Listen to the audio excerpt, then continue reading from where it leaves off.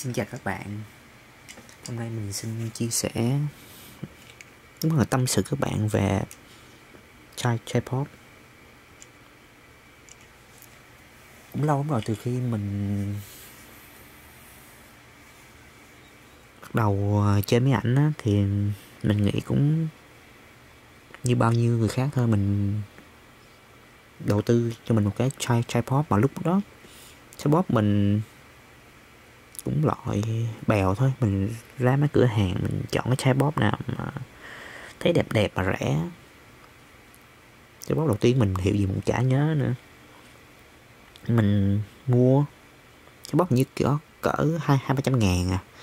Nó làm bằng hình như đó, bằng nhôm, vừa nhôm vừa nhựa. Là mình cũng để đó, mình xài chụp được à, một hai lần. Rồi. Về thời gian mình để mấy ảnh để lâu trên đó. Rồi cái cái cái cái, đầu trái bó nó nó bị bị cong. Rồi chân để thời gian nó cũng bị do sức nặng hay sao á. Nói chung nó rất là dễ bị hư.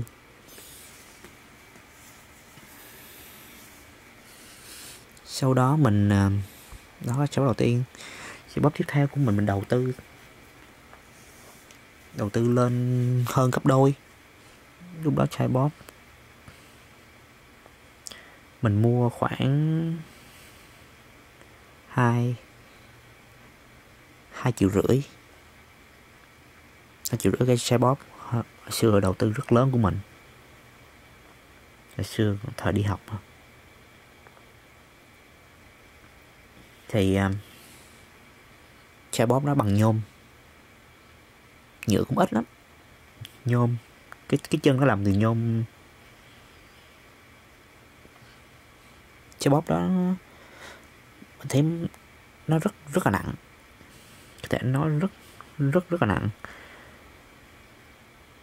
Vì cái trọng lượng của nó mình để trên xe bóp một thời gian mình xài cũng nhiều.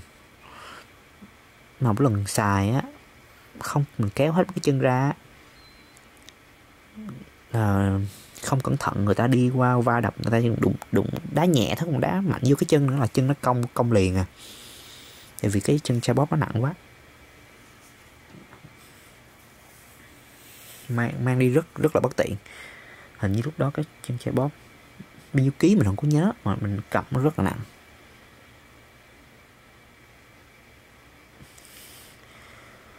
Còn độ vững hay không mình cũng không chắc mình thấy chân nó tới thời gian nó cong queo chưa. Rồi sau đó mình thấy chai bóp nó bất tiện quá thì mình đổi sang chai bóp nhỏ gọn hơn. Cũng mình cũng mua hai hai triệu mấy á. Rất là nhỏ gọn chai bóp. Hiệu ờ, uh, Joby thì xe bóp đó mình có thể gắn lên ghế lên bất cứ chỗ nào có cột có thanh cột mình móc mình móc móc nó vô. Ừ, xe bóp đó thấy mình thấy rất là tiện mình xài nó tới vẫn tới tới bây giờ. Ừ, cái mà bù lại thì ờ, lúc đi chụp hình nó không phải chỗ lúc setup nó cái bóp nó hơi bất lợi một chỗ là mình phải có cái gì để mình móc mình móc cái chai bóp ấy vô. Chai bóp đó mình để cao không được. Ví dụ không không có đồ gì móc là mình phải để dưới đất à. Dưới đất thì thấp quá, góc, toàn để góc chụp thấp không à.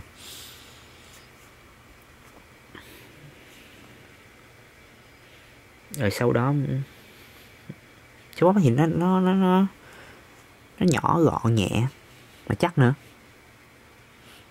Để được mấy mấy mấy DSLR để không còn. Nhưng mấy cái len len uh, tele 200 trở lên thì nó không support nổi đâu. Rồi sau đó mình thấy cái cái bóp nó cũng có cái, cái bất, bất tiện là độ cái độ cao của nó không thấp quá. Sau đó mình mua cái chai bóp cao cấp hơn. Là loại à, chóp từ chất liệu carbon á. Chóp tiếp theo một cái hiệu của Hàn Quốc. Mình cũng nhớ hiệu nữa. Chơi bóp đó thì uh, nhẹ nó nhẹ lắm. Từ lúc mình mới mua mình mừng. Nó rất nó ấn nó ấn đủ yêu cầu của mình.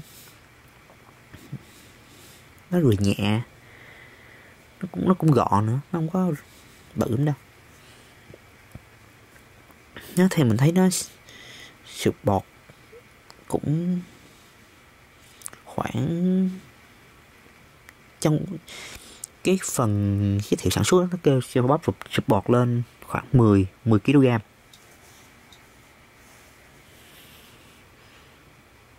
ừ, mình thấy nó qua qua của cha cha bóp đó hình như mình mua khoảng sáu sáu sáu bảy triệu á.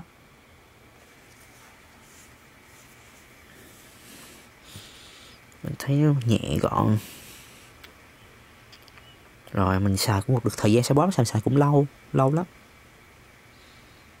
Năm năm số năm gì đó.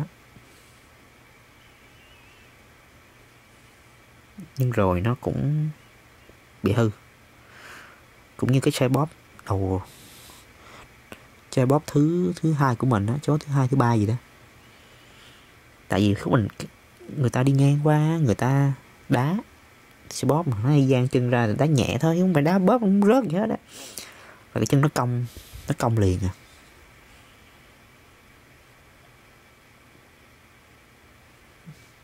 Mình không thể thể nào mà tránh cái trường hợp đó. Rồi. Ở chai bóp tiếp theo á. Lão tư cháu theo cũng khoảng chai bóp đó 10 cũng khoảng nhiều như một bên J-Hawk của hãng Man, Man Photo cũng cỡ 10 16 17 triệu gì đó. Số tiền đó đầu tư cho Bob rất là lớn 16 17 triệu. Như hầu như lần nào mình nâng cấp chai bóp cũng nâng gấp đôi số tiền với chai bóp cũ. Mình hy vọng cái chất lượng nó tăng đáng đáng kể. Chai bóp đó mình mua hẳn, mang photo cũng carbon luôn. Của chất liệu carbon fiber luôn. Chân rất là chắc chắn. Chân khóa chắc cứng cứng hết. Đầy đủ, tất cả đều chắc chắn. Có đều, tại vì nó quá chắc chắn. Tuy chất liệu carbon nhưng mà nó lại quá nặng. Và nó, có thể nói, nó sụp bọt 10 cũng 10 10 kg như cái chai, chai bóp cũ của mình. Hãng fan photo nó ghi là 10 10 10 kg á. Mình chứ mình không không không test mình không biết. Nó ghi 10 kg cái bóp này nó quá quá nặng đi.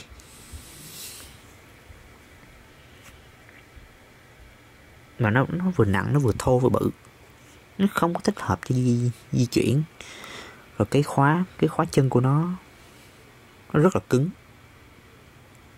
Mình bị dập tay mấy mấy lần thấy nó bất bất tiện quá.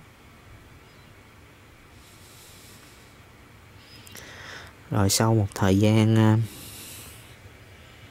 cái chứ đó mình xả được bao lâu? Không xài được được bao lâu là mình à, đổi tới cái chai bóp bạn thấy trong video này trước mặt đó.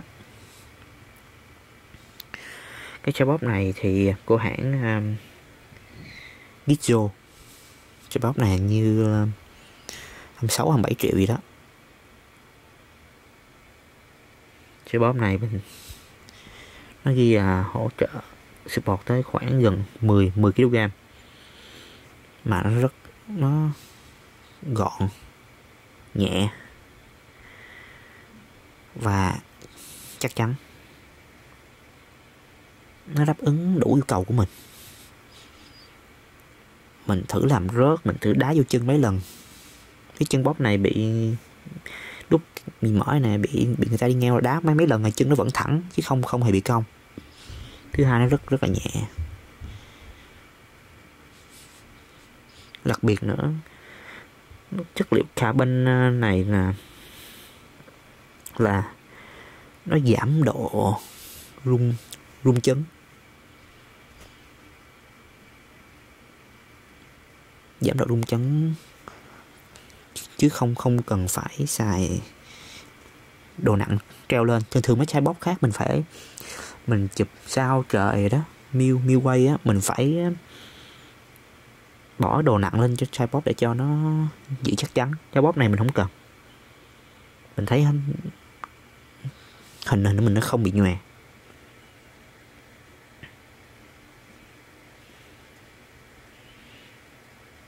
Vệ sinh chai bóp này rất dễ dàng. Nên vậy nên chai bóp này mình mang ra biển chụp thoải mái. Bị vô nước muối thì mình tháo ra mình rửa ra mình bôi bôi trơn vậy thôi.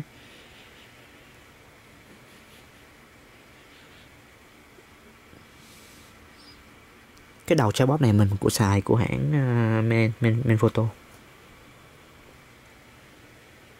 ừ. nên um, nãy giờ mình tâm sự với các bạn, mình thấy mình đã bỏ tiền ngu rất rất là nhiều. Như 15 triệu là cái sao bóp gần gần gần gần đây đây nhất. Rồi 6 6 6 7 triệu cho cho cái chai bóp tiếp theo. Rồi hai, ba triệu, rồi 600 cái lặt vặt nhỏ nhỏ, nhiều nhiều chai bóp, mình cũng không nhớ, mình mua nhiều chai bóp lắm, mình cái gì chai bóp. Nó nó linh tinh quá, mình cũng không nhớ. Mình cũng không xài được thời gian, mình cũng hư à mình chỉ mình tâm sự với các bạn ở đây mua chai bóp á. Thấy tất cả tiền hồi xưa đến giờ mình dồn lại mình cái bóp mình đã, đã, đã bị hư rồi bị mình bỏ rồi đó. Còn mắc hơn cái xe bóp trước trước mặt của bạn nữa xe bóp của hiệu Gizzo này đây xe bóp Gizzo một bốn năm ba hay sao á. Bốn năm ba hay một ba năm ba gì đó các bạn. Mình sẽ để cái link dưới cái cái um, video này. Nếu các bạn muốn mua. Thì à, cái trái bóp trước giờ mình bỏ đó số tiền mà mình bỏ tiền hưu với mấy cái trái bóp kia còn mắc hơn hơn cái chai bóp này này nữa. Nên mình khuyên các bạn nếu các bạn nghĩ các bạn chụp ảnh lâu lâu dài á lâu dài thì không không cần chuyên nghiệp nữa mình đâu phải chuyên chuyên nghiệp chuyên nghiệp gì đâu. Thì mình theo đuổi cái nhiếp ảnh này cũng hơn 10 10 năm rồi trong khoảng thời gian gian các bạn nghĩ bạn chơi nhiếp ảnh trên 10 10 năm đó thì bạn mua cái tripod xài cả đời. Thì mình nghĩ bạn nên đầu tư dùng cái tripod chắc chắn. Chứ chứ mấy tripod kia mấy tripod khác thì xài thời gian cũng bỏ cũng dục hết à. Mình thấy rất rất rất là uổng rất là uổng, uổng tiền.